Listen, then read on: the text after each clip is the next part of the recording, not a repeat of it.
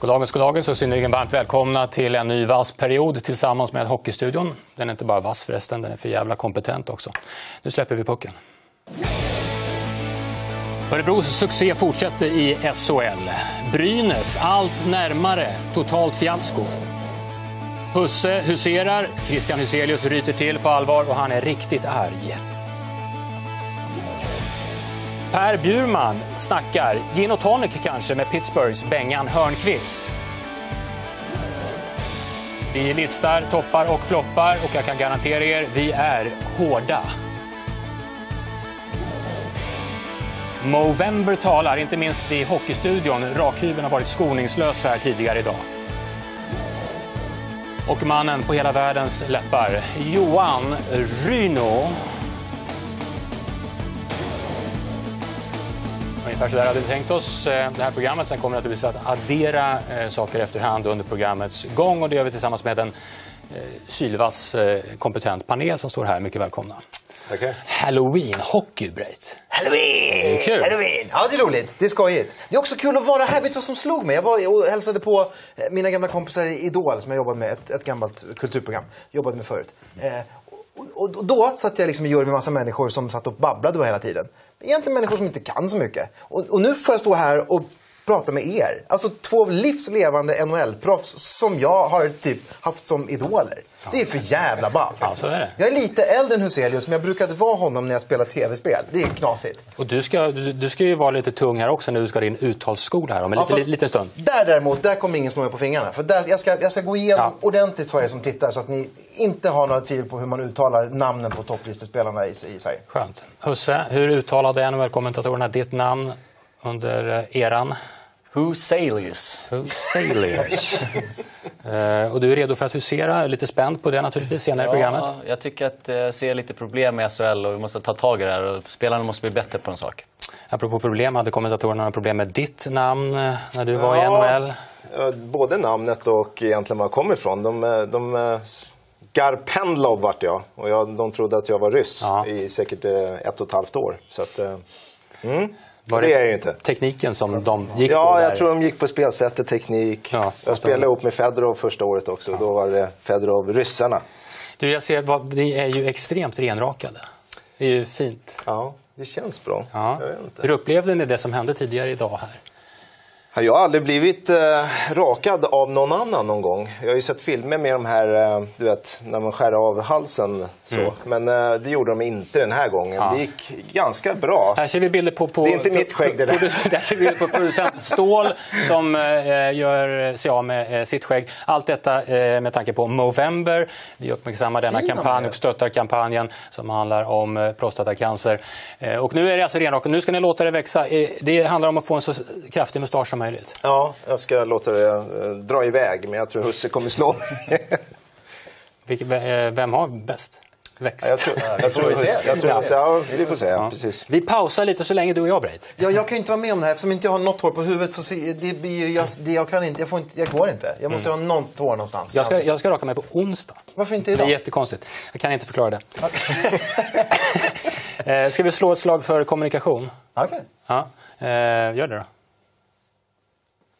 Va? Nej, jag tänkte på vad fan vi har ju, det är ju så jävla socialt i, i dagens värld med tanke på... Alltså, jag är ledsen, man kan ju tro att jag borde fattat den där övergången så mycket tv som jag har gjort. Du tänker på tv på Twitter? Ja, precis. Så, jag är ju då ansvarig för våra Twitterkonto här. Hockeystudion heter vi på Twitter och vi har också en hashtag som är hashtag Hockeystudion. På det sättet kan man prata med oss under hela veckorna. Det blir lite knepigt här under live under sändningen. Försök ha koll nu också. Men skriv saker till oss på, på den hashtaggen under veckorna så kommer jag kunna prata med er.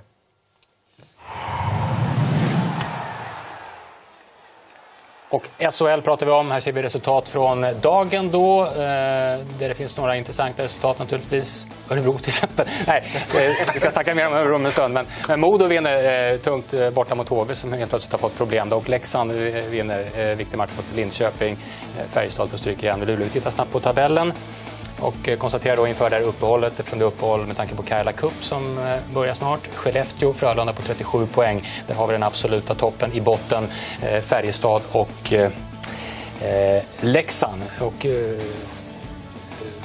Det är någonting som stör Breitholtz här för närvarande. Ja, för den tabellen var inte riktigt den färdiga va? Det var inte riktigt den men den var nästan, färdig. nästan Ja. klar. Den kommer bli eh, komplett alldeles strax. Färjestad, eh, Garpenlöv. Mm. Eh, ja, det såg väldigt skapligt ut idag tidvis. Men... Ja, jag tycker den här matchen idag mot Luleå var en riktigt, riktigt bra match där, där det var liksom lite slutspelsaktigt. Och de, på slut har de börjat tagit eh, några steg och spela bättre, mer kompakt och de börjar liksom se ut som Färjestad har gjort eh, tidigare under åren. Eh, Örebro då, eh, själv är jag naturligtvis noll överraskad, men, men det är många som är överraskade. Eh, vad säger Husse? Ja, jag är en av dem. Jag är riktigt imponerad så här långt. Jag, menar, jag trodde inte att de skulle ligga så högt upp i tab- tabellen som de gör. Och på något sätt, jag har sett lite matcher de har spelat, de spelar inte alltid bra hockey.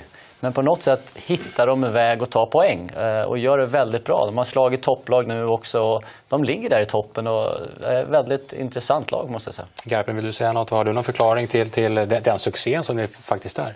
Ja, eh, jag tycker nyförvärv har lyckats med. Derek Ryan har varit eh, otroligt bra så här långt. Eh, Thornberg på tränarsidan tror jag har hjälpt till väldigt mycket. Och sen målvakten Hudacek. Johan Thornberg som nu finns med oss på telefon. Hallå Johan! Hallå ja, hallå ja. Hör du, du får eh, smickrande ord här från eh, Garpenlöv. Eh, jag hör det.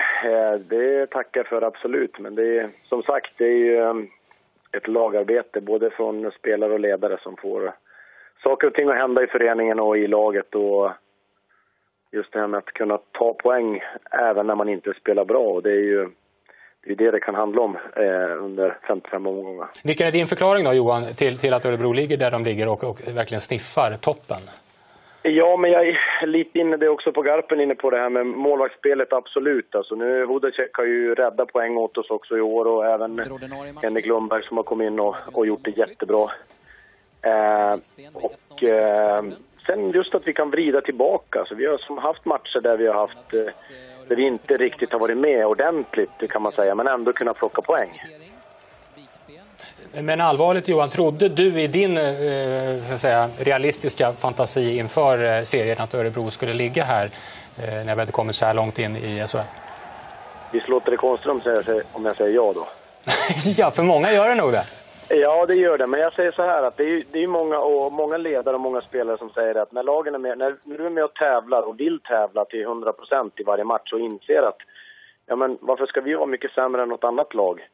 Eh, vi är ödmjuka på ett bra sätt ändå, men samtidigt så vet vi då när vi har känt på alla lag så känner vi att nej, men för tusan, vi kan ju vara med. Är vi förberedda och är vi kontrollerade till match så har vi allting på plats så, så kan vi göra det och då känner vi att för tusan. Sen har det varit några matcher där vi känner att vi inte har varit det. Ja, och då har det inte heller gått våran väg och då har vi inte heller tagit poäng. Thornberg, eh, du säger att eh, man ska få spelarna att tro på det. Vem, vem är det som eh, får spelarna att tro på det här? Ja, men alltså en del är ju ledarteamet, men också de själva tycker jag är en stor anledning till att eh, de känner själva, spelarna, att vi kan, och framförallt individuellt, att jag menar, spelarna mäter sig på ett eller annat sätt också ute på isen mot varandra och de känner att ja, men vi är inte något sämre på något sätt än någon, någon annan. Eh, däremot så har vi ju också lyft in, alltså i laget så är det kanske mer spelskicklighet och mer ska man säga, bredd i laget också, men en, en bra konkurrens också på, på forwardsidan framför allt. Och, så att, eh, jag tror det, det handlar mycket om att alla känner att vi kan vara där ute och ta poäng i varje match och att vi har chanser i varje match. Och när du har det som grupp och vi känner att vi kan nypa dit puckar och vi har ett powerplay som har fungerat, där vi leder ligan efter 18 omgångar, där vi inte fungerade överhuvudtaget på försäsongen, där det bara startade upp när vi satte igång efter om, egentligen omgång ett och sen har det bara rullat på. Det har inte sett jätte, jättebra ut men fasen i mig, vi har kunnat sätta puckar ändå. Eh, procentuellt också när det gäller effektiviteten så har vi varit där och kunnat peta in puckar så att eh, det är ju givetvis också med ett självförtroende. Då, då finns flytet, med där. Till sist Johan, tycker du att ni har fått ut max av laget eller, eller ser du att det liksom finns ytterligare att, att plocka fram? Ja, det finns ytterligare. Jag är ju lite så här småpetiga säkert, alla tränare och sådär och tycker man att nej, men det finns ju mer att ta ut och det tycker jag också. Boxplay är helt okej, okay, men kan bli bättre. 80, lite drygt 80 procent. Släppt in lite för mycket mål. Eh, för lite för mycket bra lägen emot oss. Vi behöver strikta till det i egen zon eh, till vissa delar. Det ska inte behöva påverka offensiven, tycker jag. Eh, och vi övriga som jobbar just i och nära så ser vi det att nej, det finns saker som vi kan ändå plocka ut mer och även av individuella spelare som kan göra det bättre. Så att, nej, det finns mer att ta, tycker jag. Vi ska nog inte kanske eh, allt för högt, men ändå så tycker vi att vi, det finns mer saker som vi kan göra bättre och det ska vi göra. Vi får se hur det går. Vi följer naturligtvis eh, Örebro i SHL. Stort tack Johan för att du ställde upp denna kväll. Tack själv. Lycka till allihopa. Tack så mycket. Örebro, vad tror Husse? Fortsättningen? Ja, som man säger, de verkar ha härligt självförtroende i gruppen och det är, det är viktigt i dagens hockey så att det kommer ta dem långt. För vissa går det ju inte så bra. Det är inte mycket som stämmer frågan, men något som stämmer för Brynäs för närvarande. Nej, inte de sex senaste matcherna när de har förlorat. Jag, Brynäs har liknande säsonger här flera år i rad där man eh, börjar bra och sen faller man ihop lite som ett korthus och tappar spelet totalt. Och man kan ju bara ifrågasätta hur bra tränare är de, hur, hur pass hårt sätter man sitt grundspel, hur pass noggranna är man bland tränarna. Och eh, skulle jag vara eh, en, inom Brynäs organisation lite högre upp så skulle jag börja ifrågasätta tränaren. Det är tufft för Tom Jonsson nu? Ja, jag tycker det. Det är, det är liksom fjärde året. Eh, man har sett samma tendenser varje år.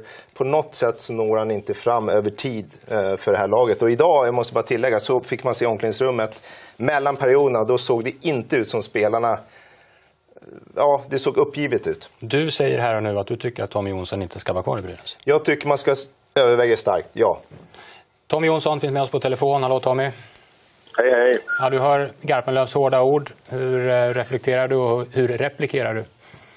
Ja, det är klart att eh, det blir alltid en diskussion. Jag är ytterst ansvarig som, eh, som, som coach och, och, det är klart att det alltid det hamnar på mitt bord till slut och det har jag liksom har respekt för vad han säger men jag delar ju inte hans, hans uppfattning. Det, det får han stå för naturligtvis. Men jag har ju någonstans en, en förståelse för att diskussionerna eh, går igång efter den tröga perioden som vi har haft nu de här senaste sex matcherna. Varför, Tommy, ja, varför får du inte ut eh, lagets potential som, som ändå finns där någonstans? Ja, det är ju en, eh, naturligtvis en fråga som jag ställer mig också. Det vi känner här, vi hela ledarteamet, är att det inte... Vi, vi ser var det, var det brister någonstans om vi just då är i de, den här äh, perioden som det är nu då det, då det har gått tungt så, så är vi inte på något vis ute och famlar i mörker. Jag tycker att det skulle kännas värre om det var att vi inte såg vad som var problemet och, och, och hur vi skulle gå tillväga med det. Men vi, vi känner oss eh, trygga i det och vi är övertygade om att det kommer att, att vända det här. Hur så, så, vad tänker du när du hör delar av kritiken för närvarande som, som Garpenlöv levererar och jag eh, läste eh, Wenderholm i Sportbladet efter matchen idag där båda någonstans gör gällande att du för närvarande tyvärr talar för döva öron i eh, Brynäs? Ja, det som jag säger, det får stå för dem som säger så. Jag känner att eh, när vi har våra diskussioner och möten och vi ska lägga fram vårt budskap så känns det definitivt som att jag att jag har spelarna med mig. Det, det är min uppfattning i varje fall. Jag, jag har ingen annan känsla. För, för Garpen, du har också sagt tidigare att du tycker att Brynäs de ska inte alls ligga där de ligger. De har ett lag på pappret som du menar ska kunna kliva på ordentligt. Absolut. Jag, tyck, jag trodde Brynäs skulle vara ett mittenlag men med möjlighet att kliva upp i tabellen var ett överraskningslag i den här eh, SHL. Och nu är det inte klart på långa vägar än, men så här långt så tycker jag inte de har motsvarat de förväntningarna. Och om man tittar på backsidan som kanske var lite skadeskjuten förra året som man kunde skylla på kan man inte skylla på i år tycker jag, men när man får tillbaka Andersén, man har Jos, man har Kihlström som i och för sig har varit lite skadad. Mm. Man har Sundqvist kvar. Man, jag tycker i SHL-mått mätt så har man en bra backsida. Man har en bra målvakt i Starkbaum också som inte har presterat. Men varför har han inte gjort det? Är det försvarsspelet eller är det Starkbaum? Svårt att säga utifrån. Men båda har ju det är där problemet sitter just nu, målvaktssidan och försvarsspelet. Nu kommer det, eh, vad jag förstår, ett lägligt uppehåll. Tommy, vad, vad, kommer ni att göra? Vad kommer du att göra för att, för att få igång maskineriet? Ja, vi kommer ju att arbeta väldigt hårt. Det handlar ju om det att, att uh, hela tiden tro på det vi håller på med. Och, och vi vet, uh, vi ser var vi felar någonstans. Och backar man bandet bara för några veckor sedan, då var vi, då var vi faktiskt det laget som var hetast i SHL. Då vann vi sex av sju matcher. Så att det går fort i den här branschen, det vet man om. Och det gäller att ha en väldigt stor tro och en tålmodighet i det här. Och jag hör ju vad, vad vissa experter säger, men vi har spelat 18 omgångar. Säsongen är väldigt, väldigt lång. Så att, eh, det går upp och ner under en period och då tycker jag det handlar mycket också om att eh, ha en stor tålmodighet och en väldigt stor tro. Garpen är kortis. Ja, en snabbis bara Tom. Det är liksom flera år i rad nu där, där Brynäs har en förmåga att liksom tendera att gå upp och ner under säsongen. Ni har svårt att hålla en hög jämn nivå. Är ni dåligt tränade? Nej, det, det tycker jag definitivt inte. Jag tycker att vi har varit bra tränade under alla år. I år har vi också gjort en, en ny satsning i en, en, eh, en ny fystränare för att eh, göra någonting annorlunda och en oerhörd noggrannhet ligger i det. Så att det är definitivt inte det det, det handlar om eh, i, i de här fallen då, då vi går ner oss. Det är inte. Vad är din analys till det då? då? Att vi går ner? Ja, gå upp och ner under säsongerna. Varför har ni en tendens att göra det? Förra året tycker jag väl inte det, men förra året då var det ju en säsong då vi hade väldigt eh, jobbigt vissa perioder. Förra året då tycker jag ändå vi höll en mycket jämnare nivå än på länge och slutade totalt en fjärde plats i grundserien. Och, eh, I år så känner vi nu att de här sista sex matcherna så känner vi att vi, vi orkar inte vara konsekvent i det spelet. Vi tummar lite på saker och ting som vi blir väldigt straffade i och det är både spelet med och utan puck. Och, eh, det är väldigt tydligt det vi ser när vi sitter och analyserar matcherna. Eh, stort tack Tommy. Eh, träna hårt under uppehållet. Det kommer vi att göra, det kan jag garantera. Tack själv. Bra, ha det bra. Lycka till. Eh, Tommy Jonsson alltså, Tack, tack. efter en ny förlust för Bryn, Brynäs tidigare idag. Så här är det, den här, som ni vet, jag tjatar om det att vi vill vara kom- kompetenta. Vi vill vara kompetenta i den här studien ut i precis, ja, överallt. Även när det gäller uttal. Eh, vi ska gå, in, gå på djupet i detta. Vi ska göra det tillsammans med Breitos och det här är så viktigt så att eh, Breit har fått en egen vignett. Daniel Breitholtz Uttalskola. Exakt! Daniel Breitholtz uttalsskola tänkte jag att det var dags för. Ja. När jag var liten så hette stjärnorna i elitserien som det hette då, de hette Håkan Södergren, kanske Håkan Loob, Bengt-Åke Gustafsson, Peter Gradin. Det var samma hjältar år ut och år in. Man hade koll på vilka som var stjärnorna och som producerade poäng. Nu ser ju hockeyklimatet lite annorlunda ut. Det kommer och går stjärnor ut och in. Och just i år så har vi just nu en topp 10-lista eh, över de som gör flest poäng i SHL. Som är massa namn som jag inte känner igen. Och också när man tittar på hockey på Simor och lyssnar kanske på det på Radiosporten så säger alla deras namn på olika sätt. Så jag tänkte att vi här och nu, en gång för alla, skulle lära oss hur, hur uttalar man namnen på våra topp 10 bästa spelare i SHL. Det här är svårt. Ja, det är svårt. skitsvårt. Och jag, vill inte, jag, ska, jag ska inte lägga min egen värdering i hur de uttalas, så jag har tagit tekniken till hjälp. Tekniken är häftig. För då kan man skriva in ett namn eh, i en talsyntes, så kommer datorn berätta vad som är det korrekta uttalet. Och jag lovar att jag faktiskt har skrivit in precis vad, som het, vad de heter. Exakt stavat rätt. Så om vi tittar här på den första spelaren som leder eh, poängligan, eller ledde poängligan ska jag säga, när lördagen börjar. Så ser han ut så här. Han spelar i Linköping och han heter? Broches Little. Exakt. En gång till. Broches Little. Broches Little. Där är det slut på den diskussionen. Alla har sagt fel. Brock Little har man hört, det stämmer inte. Eh, tvåa poängligan per lördag var den här killen. Han heter? Jacob McFlecker. En gång till.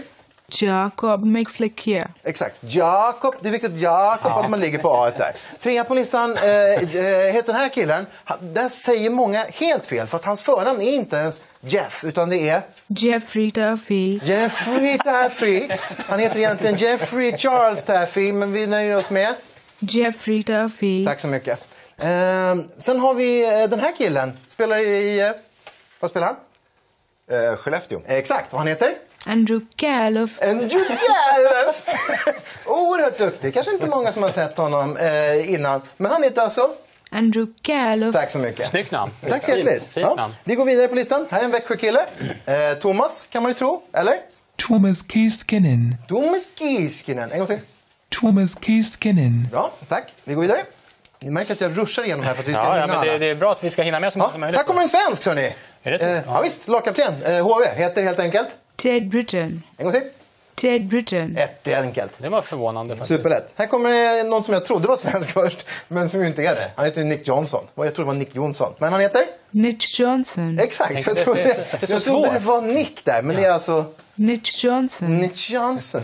Ja, så är det. Ehm, vi har senare Derek Ryan, trodde jag att han hette. Men han heter? Derek Ryan. Ja, Ja, nästan. ungefär. Derek Ryan. Det Vi går vidare. Plats nummer åtta. Här, nu blir det svårt. Ja. Det här har jag, eh, och jag har också svårt för den här bilden på många Det sätt. ser gammal ut. Ja, han ser intressant ut. Mm. Men han heter alltså så här och inget annat. Kirill Kababanoff. en gång till. Kirilka Babanov. Exakt. Det är Mattias Bannon där som jag måste komma ihåg. Eh, vi börjar närma oss slutet på vår topp 10-lista. Den här killen känner vi igen. Snygg, måste jag säga. Eller? Ja, riktigt snyggt. Nu måste ni vara mycket snabbare, annars så tror ni att, att vi inte kan säga att killen är snygg. Men är- Ja, hur jo, men han är det? snygg. Ja. Han heter? Matte Solim. Mm. Matti Zalin. Ja, sist på listan. Det, är liksom, det, det, Snyggt. det, det, alltså det här blir skitsvårt Tyck- att komma ihåg det här. Nej, för att det bästa är att det här kommer ju alltid finnas. Det är det som är så fint med internet. Det här kommer alltid finnas kvar på internet. Allt som görs sparas för evigt. Det kommer finnas kvar på Aftonbladets sajt jämt. Så att man kan när som helst, så fort man känner sig osäker, gå in här och titta återigen på Daniel Breitholtz uttalsskola. Och skulle det vara så att, att eh, topplistan förändrar sig under årets gång och det kommer in massa nya utlänningar som inte vet vad de uttalar, jag lovar att jag ska hjälpa till dem. Men är det viktigt för dig att, att vi kör enligt det här nu Andrew Keloff. i Hockeystudion? Keloff. Ska vi göra det? Ja tack. Okej, jag ska försöka. Eh, snart spänner vi bågen. Vi ska hissa och dissa SHL-spelare så här långt under den här säsongen och dessutom ett eh, ja, fenomenalt Click of the Week. Vi är strax tillbaka.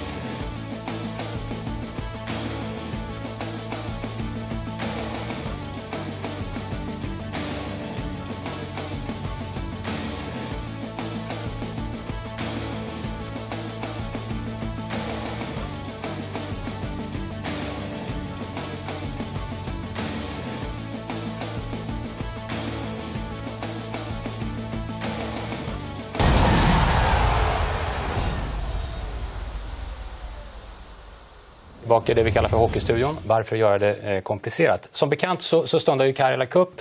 Det är uppehåll i SHL och eh, då kan det ju naturligtvis vara läge att eh, göra en liten granskning av det som har hänt i SHL och titta lite spelare för spelare och ta ut de som har varit bäst och de som har varit sämst. Och det har Hockeystudion gjort tillsammans med experter som Garpenlöv och som Huselius. Vi ska titta lite på, på topp 10 eh, har jag tänkt mig och börja då eh, platserna 10 till 4. Eh, det här är alltså de som vi tycker har presterat eh, riktigt bra, Garpen. Ja, vi har ju två eh, juniorer här, Fiala och Nylander som kom in lite sent men har eh, verkligen stått ut så här långt. Men har inte riktigt klarat av topp tre. Men de, eh, hade de varit med från start så hade de, tror jag, varit med där. Det är ändå eh, pallplatserna som är det mest intressanta. På eh, bronsplats, plats nummer tre, eh, har vi valt ut Niklas Andersén. Ja, trots att Brynäs går så pass dåligt så är det här en, eh, egentligen en defensiv back, men har kommit hem eh, till SHL och producerat. Eh, inför dagens match var han etta i backpoängligan i hela SHL. En riktigt, riktigt bra back tycker jag som, som är med Tre Kronor också, en stöttespelare där. Så att, eh, bra för Brynäs, bra för SHL och han eh, kommer eh, ju längre säsongen lider verkligen betyda mycket för Brynäs nästa säsong. Niklas Andersén alltså på eh, tredje plats eh, i den här tio topplistan. På andra plats, silverplats. Eh, jag vågar inte säga namnet. Jeffrey Tafe. Ja, men han finns på brons, eh, silverplats alltså. Ja, silverplats. Han eh, delad första plats i poängligan, gjort mest assist av alla i SHL. Eh, skulle egentligen ha spelat i Linköping förra säsongen men tackade nej där och eh, åkte tillbaka till eh, Hersey Bears. Och eh, kom hit i år istället och har verkligen visat hur bra hockeyspelaren är. Eh, skicklig framförallt i det offensiva spelet då. Eh, uttalsmässigt så var det lite, det gäller samtliga nästan det Daniel, att för och efternamn flöt ihop lite. Gå Jag- tillbaka bara sen. Ja. Se färdigt programmet, sen efteråt gå tillbaka igen och lyssna en gång till. Jag ska göra det. Eh, plats nummer ett, guldmedalj, 10 topp, Erik Kristensen. Ja, den här killen gillar jag. Jag spelar mot honom i NHL och eh, han, ja, han är en sån här härlig skridskoåkare. Offensivt skicklig, gör sina kedjekamrater bättre, spelar i alla situationer. 4 mot 5, 5 mot 4. Eh, det här är en riktig målgörare, kan spela fram, han kan göra allting och eh, otroligt nyttig för HV. Så han verkar inte alls vilja ha med några timeout. Han bara åker runt på isen och skiter i vad alla håller på med. Han vet vad han ska göra. Ja, precis. Han är färdiglärd. Eh, alltså eh, nummer ett på tio topp-listan, vår tio topplista. Och ni som undrar varför inte Johan Ryno fanns med här så kan jag låta... Han, Ryno kommer. Han kommer senare under eh, programmet. Eh, eh, nu ska vi ägna oss åt Click of the Week.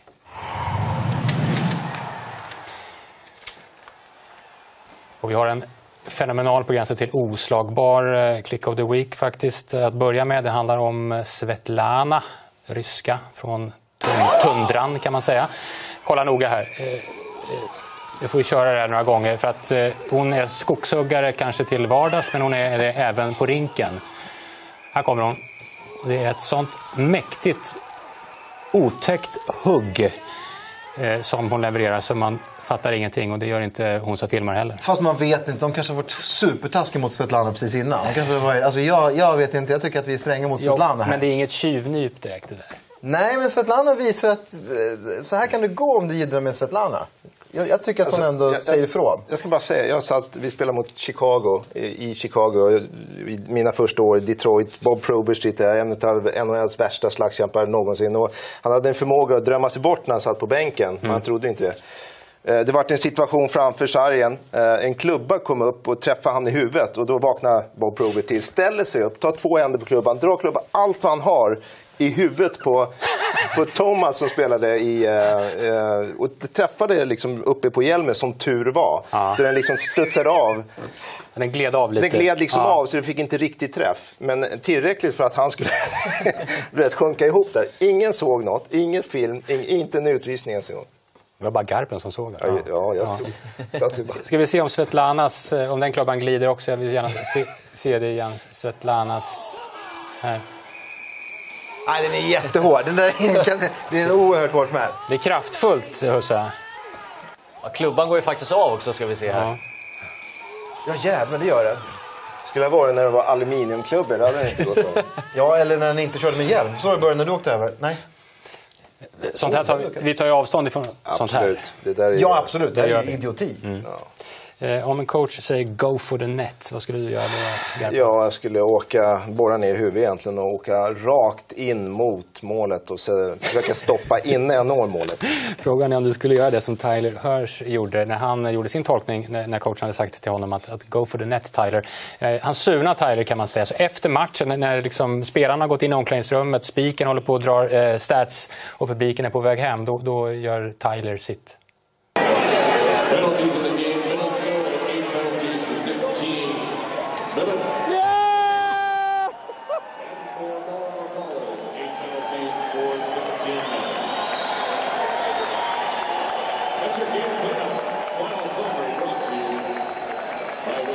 Så lägger han klubban fint i mittcirkeln, där har han gjort sitt. eh. Och eh, faktum är att han har gjort det för att han, han la av efter det här. Alltså hur lovande som helst, hur lovande som helst han lägger av efter det. Vilken hjälte! Jag förstår honom precis. För att om jag hade lirat och en domare hade gjort och tagit ett felbeslut. I det här fallet så var det tydligen då coachen. Ja. Men jag kan verkligen fatta att så här, nej, nu, har jag, nu får jag bryta, nu skiter jag i det här. Nu får ni klara utan mig. Vilken hjälte, vilken cooling. Nej, men man får ju hoppas att det inte har varit mobbing från tränarens sida. För att man ska lägga av eh, bara för att han säger att han ska gå hårt på mål. Det måste ju ligga något mer bakom. Så det är lite tragiskt i det här. Eh, Och Husse, han var ju alltså en av USAs mest lovande, spelade VM eh, som 18-åring. Ja, ja, det är fascinerande. Alltså, det är svårt att veta exakt vad som ligger bakom det. Men han gör det ju väldigt eh, skickligt här på slutet och snyggt när han bara lägger klubban på mittcirkeln och bara... och Vevar en gång till, vi vill se det en gång till. Och ska man sluta så ska man ju sluta med ett bang. Kom igen, snacka om att bokstavligen sluta med en bang. Ja. Kolla. Det är grymt. Rulla Tyler Hirsch igen. Vi vill se eh, hur, med vilken kraft han eh, levererar när matchen är slut. För att man är ju lite förvånad att, att han inte skadar sig faktiskt. Ja, Och han backar ju inte heller när han ser att den här kanske går in. trycker till och med upp eh, de här dörrarna där Rollman åker in. Och sen, ja, jag såg att han bestämde sig Ja, där ja, att han visst. skulle lägga klubban i mittcirkeln. För där har han spelat ishockey färdigt. Det hörs. Tyler Hirsch. Ring inte mig, jag eh, ringer er. Click of the Week i Hockeystudion. Eh, Den vi- stora frågan, igen, ursäkta, men, men undrar han säger till coachen när han kliver in i rummet när han bestämt sig där? Ja, Om de nu hade en liten schism. Det skulle vara kul att höra. Vi har haft en liten mygga på väggen. vi ringer Tyler Ja, det måste vi göra. vecka. Ja. Garpen, enligt mina noteringar så har, du hade en spelpott på 5 000 kronor. Mm. Det är inte 5 000 längre och det är inte mer heller va? Nej, det jag förlorade tyvärr senast. Jag hade ju Luleå på hemmaplan mot Linköping där eh, de ledde tills det var en eh, minut kvar tror jag det var. Då kvitterade Luleå tyvärr, Eh, så jag torskade. Så jag har, vad är det jag har, 4 880. 80. Så nu måste vi göra ett nytt bett. Ja, du har ju idéer på gång. Ja, i och med att eh, det är landslagsuppehåll, eh, men Champions Hockey League spelar och jag ska åka ner och se eh, Linköping mot eh, Sparta Prag. Så jag tänkte spela på Linköping vinst i den matchen. Eh, Och lägger 200 kronor på Linköping. Eh, Det är alltså eh, Garpens spel. Tar ni rygg på Garpen så finns det chansen att vinna pengar och då kan ju eh, ni sticka ut och resa eh, och se hockey. Eller också kan man göra som Garpen, man kan sticka ut och resa och få betalt för det. Sverige har fattat grejen, Finland har fattat grejen, Ryssland har fattat grejen. Det är bara i Norge som hockeyn inte riktigt har fått fäste. Champions Hockey League, vad betyder det för norsk hockey? Det betyder mycket. Det betyder at vi kan komme ut og matche oss eh, mot eh, de eh, beste. Ja, du ser jo Stavanger nå. da. De gikk nesten videre i Champions League og har gjort det veldig bra. og De fikk ny hall for to år siden, er det vel?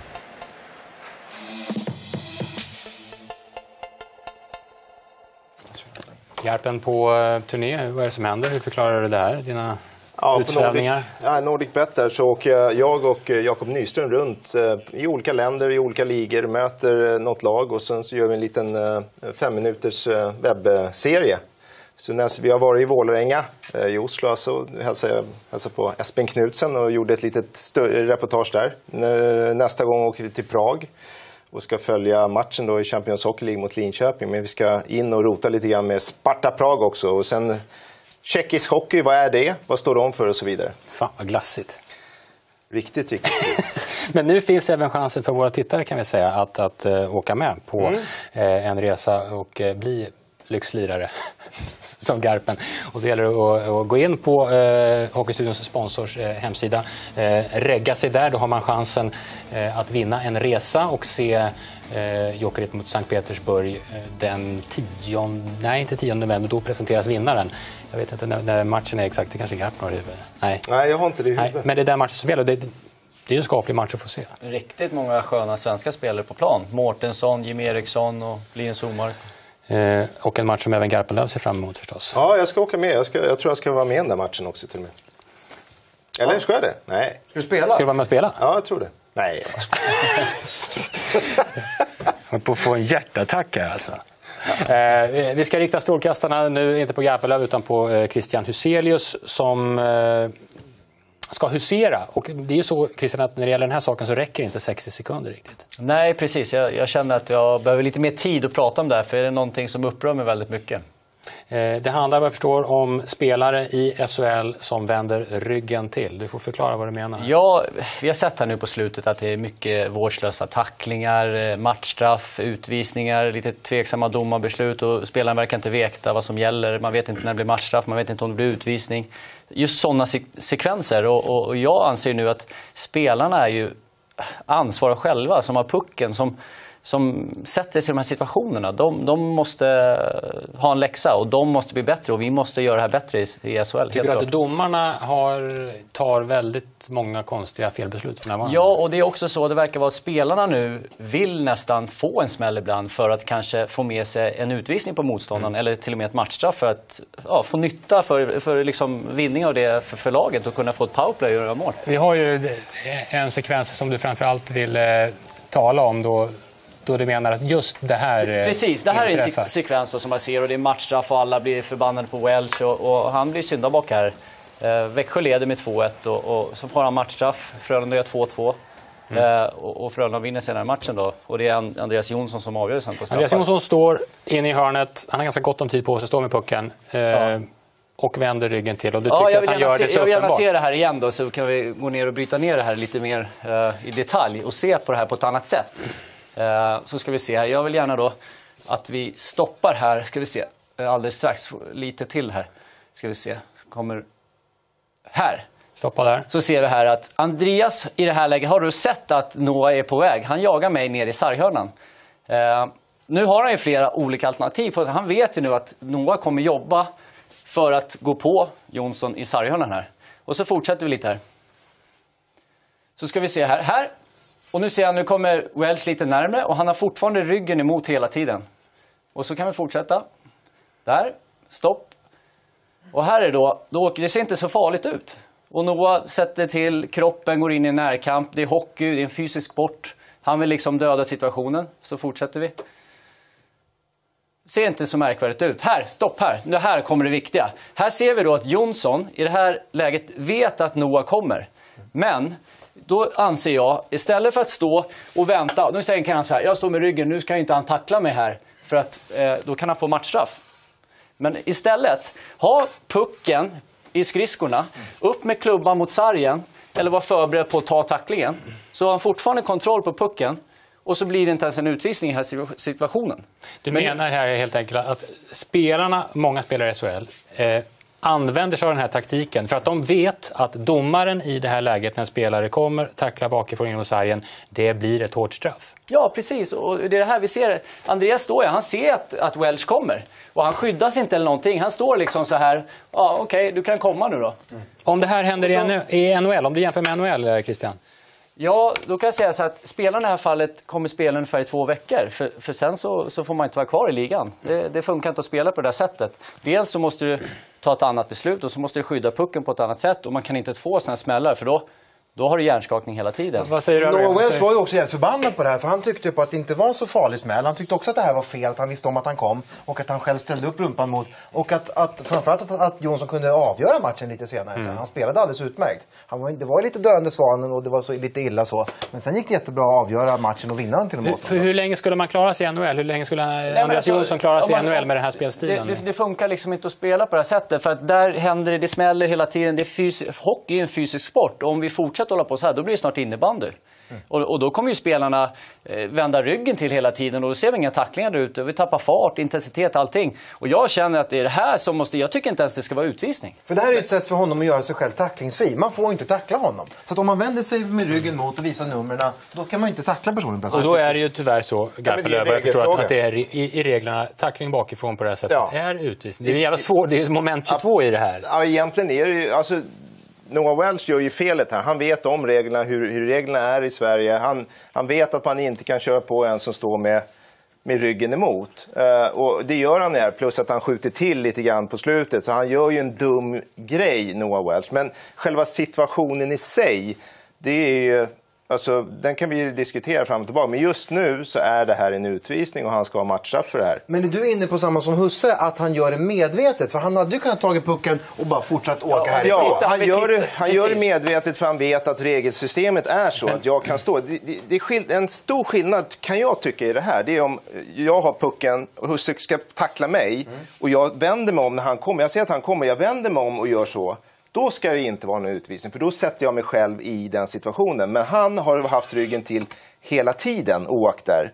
Förstår du skillnaden? Men då, tycker, då, då, tycker ni helt olika, ja, du och Husse. Du tycker ja, även, alltså, han ser honom. Alltså, han, Andreas har ju sett Welch tidigare flera gånger. Alltså, han har ju, till, till och med här så ser han ju här. Han ser ju här att han kommer nu mot ryggen. Och han gör inte ens någonting för att skydda sig. Utan det är liksom som att, okej okay, kom här nu då. Mm. Tackla mig i ryggen. Så får vi se Men ser inte, du, Gabriel, ser inte du de risker som uh, Husse menar att de Absolut. effekter som det här kan få när, när spelare tänker på det här jo, sättet jag, i SHL? I grunden så tycker jag som Husse, men i, i Europa så, så är regelsystemet på det här mm. sättet. Och det, det är inte domarens fel, utan det är hur vi ser på tacklingar.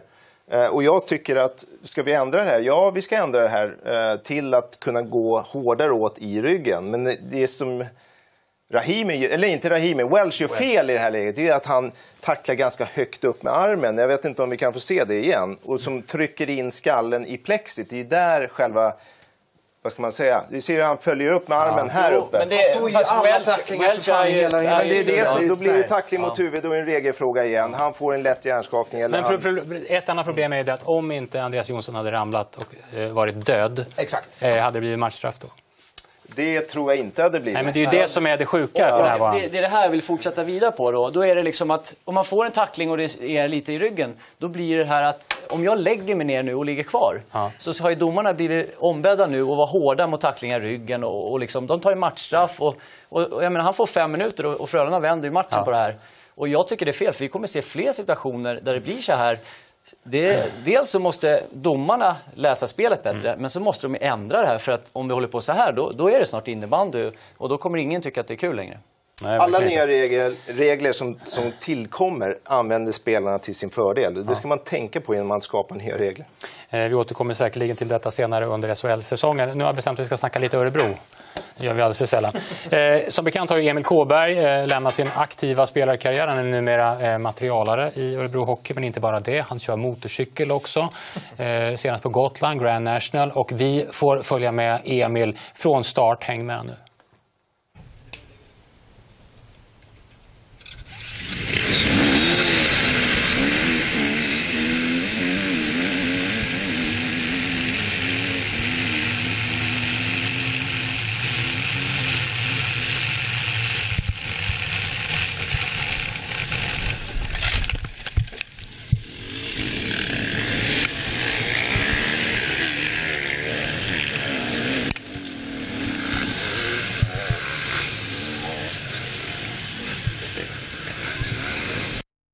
Kåberg, eh, aggressiv start eh, på. Gotland. Han ledde. Han ledde. Vi har med oss Emil på telefon nu. Hallå Emil.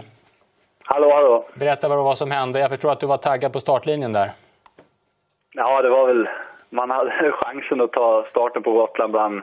Jag vet inte vad det var, det var väl en 500-600 i, i den starten som jag åkte i. Så hade man chansen att vara där uppe så tänkte jag, jag är så nära, då chansade jag lite, försöka ta starten. Men jag chansade väl lite för mycket, så jag gick väl lite för fort in i början. Hur förbannad blev du på dig själv? Just då var det man väl det, men då var, sen var man rädd att cykeln skulle gå sönder av kopplingshandtagen och sånt så man inte kunde fullfölja loppet. Då hade man blivit mest förbannad. Men det, det var bara att resa upp cykeln och fortsätta. Nej, det är ju svincoolt. Du kan ju alltid säga "Äh, jag ledde ett tag. Du behöver inte, behöver inte gå in på hur länge det var. Jag ledde ett tag bara. Det är inga konstigheter. Ja, kan ju räcka det. Hur, hur, eh, Emil, annars, hur, hur hanterar du din ilska på motorcykel? Men när du spelar hockey, det är ganska enkelt. Är bara, du kan ju köra över någon. Men hur hanterar du ilskan på motorcykel? Ja, där är man väl rätt så trött hela tiden så där kontrollerar ilskan sig själv. Men man kan ju inte ge sig på någon annan direkt. Det, det får man väl ta ut på sig själv bara och pusha sig hårdare så blir man trött och då lugnar sig ilskan tror jag. Hur- Man har inte så mycket ilska där ändå när man åker. Hur seriös satsning är det här, Emil? För jag vet, du, du planerar eh, revansch i novemberkåsan har jag förstått. Ja, det, det ska jag ju köra är det tänkt med. Så det är väl bara på att börja nattremmen och köra med lyse. Så det, det är väl klart, jag vet inte hur mycket jag satsar, men det är ju klart, allt jag gör så vill man väl bli så bra som möjligt. Men ja, jag ska väl försöka ta mig runt i alla fall novemberkåsan. Det, är- det är en oerhört tuff tävling, så det största målet är att ta sig runt hela. Vi önskar dig givetvis lycka till. Eh, Till sist, hur stor del har du eh, som eh, materialare i Örebros succé i SHL?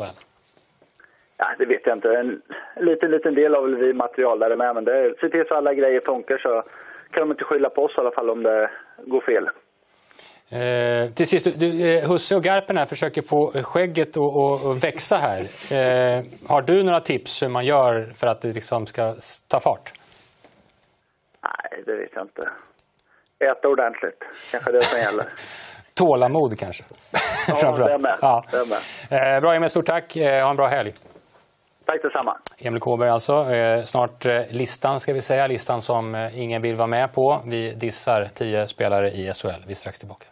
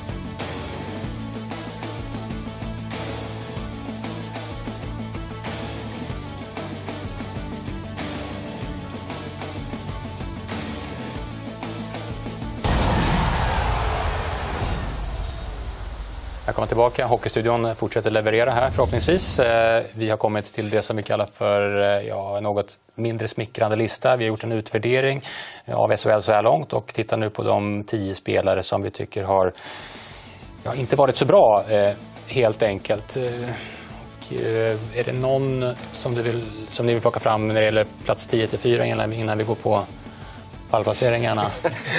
Ja, men de, den som eh, Joel Istedt har väl eh, kanske inte haft sin bästa säsong så här långt. Eh, och sen är det bröderna Connolly där som eh, inte spelar i SHL längre som eh, man kan väl säga har eh, haft en ganska tung SHL-session. Himmelfarb gjorde mål idag. Han gjorde det. Han ska ju inte egentligen vara där. Nej, han är inte ens där, men han gjorde mål ändå. Eh, I den absoluta toppen då, på tredje plats, eh, floppspelare eh, Johan Ryno. Ja, jag menar hela Leksand har gått otroligt tungt. Ända sedan han tappade radarpartnern Micke Johansson så har det inte gått så bra för Ryno. Jag menar, noll mål, eh, minus 12. Eh, Leksand är ja, en slagpåse så här långt i SHL och eh, som kapten är, det ingen sits man vill vara med i. Johan Ryno alltså på, på tredje plats när vi gör den här utvärderingen. På andra plats hittar vi Kevin Kapstad, också Leksand. Ja, tyvärr också Leksand då såklart. Och eh, Kapstad är ju en eh, offensiv back som är där för att leverera poäng och, och mål. Och han har gjort noll mål så här långt. Ja, minus sju. Ja, många är ju minusspelare i Leksand såklart, men 25 poäng förra året och eh, ja, han har en bit dit. Så att han måste börja leverera om det ska gå bättre för Leksand. Det smärtar eh, att säga det när vi nu går på eh, plats nummer ett här och nu spelaren som, som vi tycker har, har floppat mest, Linus Ullmark. Ja, han upp som en sol, ner som en pannkaka. Förra året kanske, eller var han SHLs bästa målvakt. Och det kan man ju inte säga om eh, Linus Ullmark den här säsongen där han har varit rent ut sagt dålig. Han har haft stora problem, har goal gains på 4, en räddningsprocent på 87 någonting. Eh, Så att han har mycket kvar att bevisa. Det är en, fortfarande en riktigt bra målvakt, men han har inte kommit upp i den formen han hade förra året. Eh, bara spelare här naturligtvis som, som har problem med självförtroende. Det sjuder inte direkt av självförtroende i, hos de här spelarna för närvarande. De har ju mycket mer kvar att leverera. Det, det är lång tid kvar i säsongen så att, eh, vem vet, de kanske är på toppen-listan i slutet på säsongen. Det vet man inte, men de har en bit att vandra. Har några knep hur man vänder den trenden när man har noll självförtroende? De gångerna man själv har varit i det, då liksom någonstans så landar man ju i botten och så tänker man bara att liksom, nu skiter jag i det här, nu kör jag bara. Och då brukar det på något sätt vända. Så att eh, de har ju nått botten, de här killarna. Så att vi kan ju bara se bättre av alla de här spelarna. Vi får se hur det går i fortsättningen efter uppehållet, efter Canada Cup-uppehållet. Nu har vi väntat länge nog, tycker jag. Det finns ju videobloggar och så finns det riktiga videobloggar som är kött och blod, som är NHL. Det handlar om Per Bjurman.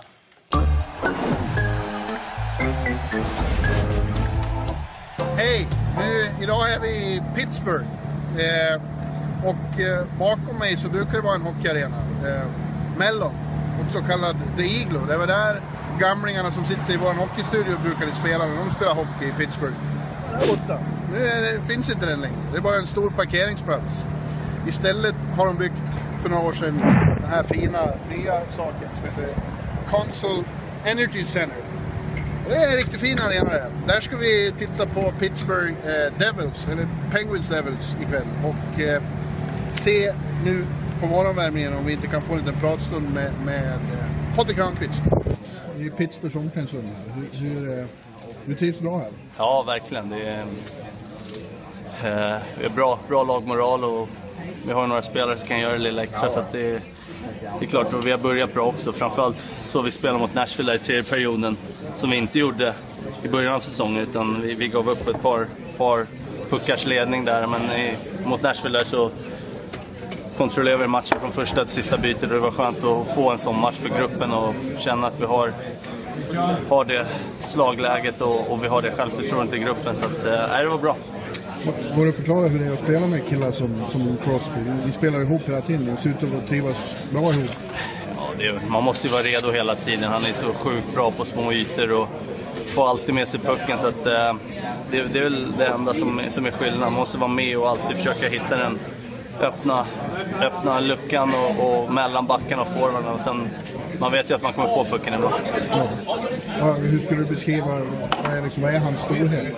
Nej, men det är att han alltid utmanar och han är så jäkla stark när han väl får pucken. Det ser ut som att han, som han tappar pucken, men han får alltid med sig den. Det är samma sak på träning. Så att, eh, och sen han är ju, han har ju jäkla driv i steget också. Så att, eh, nej, han, han är en jäkla stark hockeyspelare med, med grymt spelsinne och det, det är svårt att stoppa. Och du trivs bra runt omkring här, alltså, i i omklädningsrum och i stad och så? Ja, det tycker jag. Vi, vi köpte hus här så att vi har bott i nu i tre veckor så att det är väl fortfarande lite kaos där hemma. Men det börjar ordna upp sig och man börjar lära känna kompisarna mer och, och områdena så att eh, allt flyter på bra. Har någon hälsning till Garpen? Han sitter i vår hockeystudio när det här Jaha. filmen visas. Nej. Ja, Man vill inte hälsa till Garpen. Nej, jag vet. Yes. Ja, nu sitter eh, match pågår slutet, eh, ja, mitten av tredje perioden och eh, Pittsburgh har iscensatt en eh, lika majestätisk vändning som New York Rangers i den kalabalikartade matchen mot, mot Minnesota härom, eh, häromkvällen. Patrik Hörnqvist som vi träffade förut har haft en stor kväll. Eh, gjorde ett mål, en assist och har varit alldeles utmärkt, framförallt i powerplay. Han är verkligen som gin och tonic ihop med uh, Sidney Crosby, that's for sure.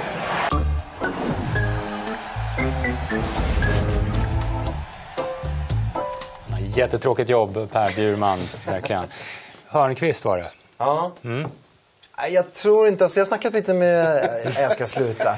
Förlåt. Jag, jag, jag tråkar Huselius hela tiden. Jag tyckte att Huselius i början eh, av, av Hockeystudions säsong tråkade mig lite när jag sa att åh vad kul att Bengan ska få spela med Crosby. Och då sa du faktiskt att, att jag var galen som trodde att Bengan skulle göra 40 mål. Och vi får väl se. Eh, sen hävdar jag fortfarande att du också sa att, att Bengan inte var tillräckligt duktig och sådär. Men det kanske du inte sa. Det kanske bara jag som miss, missuppfattade det. Ja, jag gillar Bengan väldigt mycket och eh, han är en osvensk spelare. Han jobbar otroligt hårt så han passar ju bra att spela med Crosby.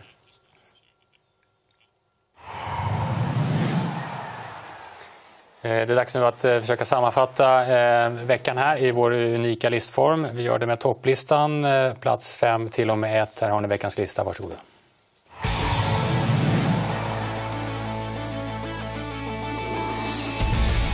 Plats nummer 5, han heter Andreas Jonsson. Ja, succéspelaren från i fjol visar prov på sin skicklighet. Titta när han växlar ner på kanten där och lägger bara in den i bortre krysset.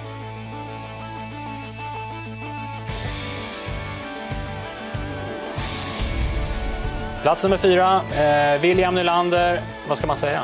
Ja, vilken lirare, vilken offensiv skicklighet han har den här grabben. Jag säger bara så här till Hockeysverige. Köp en hockeybiljett och försök se han live så länge han är kvar i Sverige. Vilken lirare. Plats nummer 3 och många tror jag gör vågen. Ja, det här är Mattias Bäck i, i Södertälje. Det ser nästan ut som ett tv-spel. En snubbe som åker ensam och gör precis hela laget. Ja, åker upp och gör mål också. Aik som numera spelar i SSK. En aik jag gärna hade sett i Djurgården istället. Plats nummer 2, snacka om comeback för Edvin Hedberg. Ja, kommer ni ihåg han? Avstängd för doping i våras. Nu befinner han sig i KL. Och i sitt första byte, i sin första match, gör han mål. Vilken drömdebut. Och plats nummer 1, eh, Jens Bergenström, lika med sen leverans. Ja, är, är det räddaren till Leksands målproblem? Vi hade inte hört talas om honom mycket tidigare, men nu på senaste sju matcherna har han gjort åtta mål. Han är stekhet. Där har ni alltså veckans eh, topplista från eh, Hockeystudion. Så skönt det här målet tycker jag. Som, så William Nylander gör bara sköna mål, men det här målet som man gör när han kommer och bara måttar, måttar länge. Man vet liksom vad man ska sätta den. Alla vet det. Ja. Han gör ju där, eh, jag vet inte om man såg men man, åker, man kallar det åker punkt till punkt. Så man åker egentligen rakt ner i zon och så skjuter man därifrån man kommer, i bortre krysset eller bortre, bortre sidan. Och det ser ganska enkelt ut, men det är svårt för målvakten.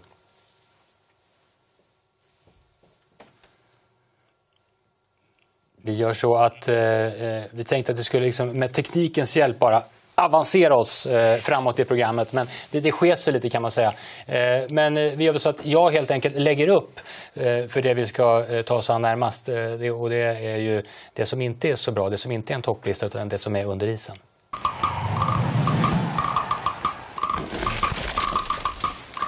Plats nummer fem, en domare ser inte allt. Jag vet inte om han blundar. Ja, kast med liten boll i egen målgård. Det får man absolut inte göra och det ska vara straff. Eh, om ni tittar riktigt noga kommer ni se Anton Grundell som tar pucken och kastar in den i Pogges plock där lite fint. Det får man ju inte göra.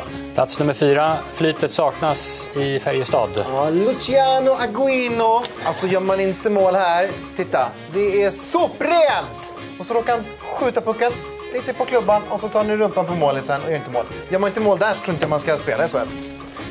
Plats nummer tre, i huvudrollen Noah Welch.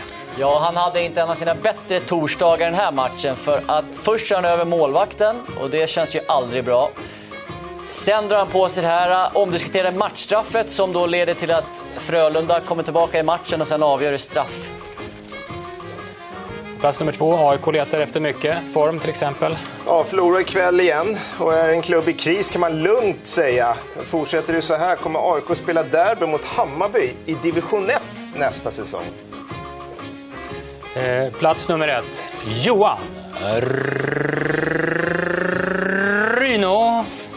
Ja, vad ska man säga? Han har gjort noll mål så här långt i SHL och gör man inte mål vid de här tillfällena då kanske man inte gör mål på hela säsongen och eh, det ser inte så roligt ut att vara Johan Ryno för han kommer nog se sig mest själv på Youtube-klipp hädanefter. Ja, det är alltså... Det, det är ju ett så sinnessjuk, det är så sinnessjuk sekvens. Alltså så man, man, har så ingenting. pissig säsong och man inte ens klarar det. Det är, så här, det är helt öppet. Det finns inte en spelare i närheten. Du är ganska ohotad. Det är du ensam pucken och bara ett tomt mål. Och det, inte ens det funkar för stackaren. Och alla ramlar. Ja, man, man undrar ju faktiskt om det sitter någon krypskytt på läktaren och liksom bara nu är det in och puff! Liksom Ja. det, ja, det känns eh, tråkigt. Det man inte såg var att han tappade klubban när han skulle åka hem sen. Efter att han hade ramlat de här två, tre gångerna så tappade han klubban och var tvungen att leta efter en. Så, de, så höll de ju på att göra mål det andra laget. Eh, vi ska säga vi har haft lite kontakt med en kille som heter Hampus. Eh, Hampus är sex år och eh, han vet lite hur, hur man ska hantera de här situationerna. Och, eh, Thomas Roos har, har träffat Hampus just med, med anledning av det som inträffade med Johan Ryno. Vi har tagit oss till eh, södra Stockholm för att eh, låta några barn eh, göra om det Johan Ryno inte kunde göra i veckan. Ni minns väl eh, misstaget i Tegera Arena när Johan ramlade? Helt fri med målvakten. Kanske SHLs största misstag genom tiderna. Det var jätteroligt. Men nu vill vi se om eh, Hampus, sex år, klarar av att göra om det Johan inte klarade av. Är det svårt att stå på skridskor? Nej, Vad ska man tänka på när man kommer fri med, må- med ett mål? man ska böja på knä. Man ska böja på knä. Och hur gör man för att pucken inte ska försvinna från klubban? Eh, det är bara hålla den precis i mitten på klubban. Hur tror man känner sig om man tappar pucken då? Inte så bra. Skotten går omkull. Håller kvar, gör Brynäs, men då kommer det. Och Ryno i friläge. Ryno för säsongens första målguld. Han tappar! Han tappar pucken! Han tappar pucken och här kommer Stententerfelt. 40 sekunder kvar. Det är 40 sekunder kvar och Brynäs kommer 6 mot 3. Ja, ni ser, det var ju inte så svårt. Eh, till och med 6 och 7-åringar klarar av det. Man, man böjer på benen, man har koll på pucken, man tittar upp vad målet är och sen så blir det mål i öppen kasse. Det där var ju inte så svårt, eller hur Johan Runo? Tjena Hampus! Jag vill bara tacka för tipsen eh, säga att eh, det är någonting jag har tränat mycket på och eh, känner att eh, blir bättre och bättre för varje dag. Snart sitter den.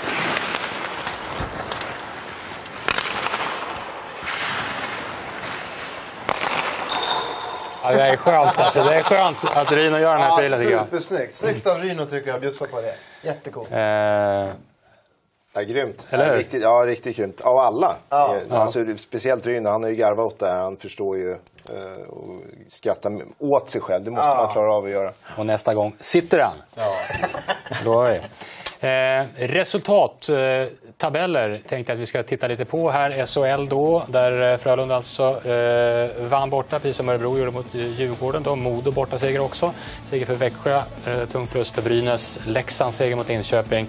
Luleå mot Färjestad ger oss följande tabell inför uppehållet som nu börjar efter 18 omgångar. Eh, något som herrar experter vill säga när de tittar på tabellen? Förutom Örebro menar du? Ja, det, vi har pratat så mycket om Örebro, kanske inte dem. Nej, men det är väl att Djurgården eh, fortfarande håller sig ovanför strecket tycker jag är eh, starkt med tanke på vilken trupp de har. Och att eh, Leksand är i botten. Och Brynäs-Färjestad, eh, Husse, har mycket att jobba på. Ja, verkligen. Ett lag också som har mycket att jobba på i Luleå, som faktiskt eh, låg i toppen eh, för ett tag sedan och eh, börjar dala neråt nu. Eh, Hockeyallsvenskan, vi redovisar även där det som har eh, skett där med eh, resultaten. Där Malmö får stryk, då. Västerås vinner, Mora vinner mot AIK, Asplöven vinner borta mot Björklöven, Vita Hästen mot Oskarshamn, Almtuna mot Södertälje. Det är lite vilda västern i Hockeyallsvenskan. Tabellen ser ut så här. Ja, Vita Hästen och Almtuna tycker jag är, man ser, det är på riktigt. De kommer vara där uppe. De, de producerar och vinner matcher över tid.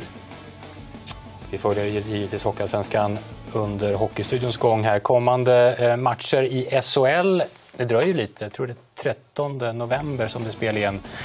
Eh, så har vi det här framför oss. Färjestad, Brynäs, HV, Luleå, Frölunda, Leksand, Modo, Djurgården, Örebro, Linköping och Växjö, Skellefteå. Men det är alltså först den 13 november. Vi har närmast Karjala Cup att eh, vara lite nyfikna på. Ja, verkligen. Det ska bli kul att, att se den här landslagssamlingen och eh, ja, internationella matcher. Och det är alltid kul att se. Känns det hett med lite Tre Kronor? Jag tycker alltid det. Jag tycker alltid att det är kul att se Tre Kronor spela. Och om, eh, om två veckor när vi är tillbaka då blir det oerhört hett också att se vart det har tagit vägen. För att mm, skägget växer ju ganska långt på Absolut. två, på två veckor. Absolut. Och ja. Vi väntar oss en kraftfull... kraftfull Men vi får inte glömma bort Champions Hockey League. Nej, det, det får vi inte glömma, eller? Det får vi inte göra, men vi gör ju uppehåll. Vi kommer inte prata någonting här om hockey eh, i ett nytt program förrän om två veckor, vilket känns lite konstigt. Mm. Och var därför jag puffar lite för mustascherna. Andrew Geloff. Jakob Jakob Flickier. Eh, Det där blir svårt att komma ihåg, alla de där namnen. Men vi ska jobba på det och eh, snart ses vi igen. Och den kompetenta studion är tillbaka när SHL drar igång igen. Tack så mycket för den här gången.